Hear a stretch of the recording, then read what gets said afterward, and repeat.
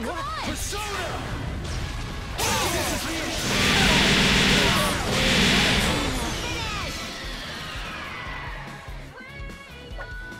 This battle is over.